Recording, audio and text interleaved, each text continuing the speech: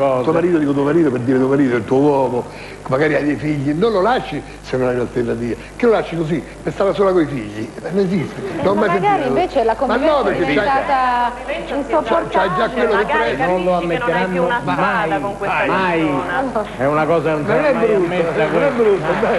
Mai. Ma è così, ma vale per gli Anzi è uomini bello vale perché per voi lasciate l'uomo, quindi è pulito.